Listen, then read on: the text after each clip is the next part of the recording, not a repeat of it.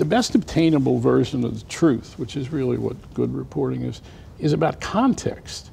Uh, it's not just about facts. You can have a string of facts and the story won't be true because you need to know what those facts mean. Life is not black and white. Reporting ought not be black and white unless the circumstances sometimes call for it because, uh, because the story is black and white. But by and large, we need to be reporting on gray area. That takes time. It, it takes time to build, build up sources, and, and we don't have enough time.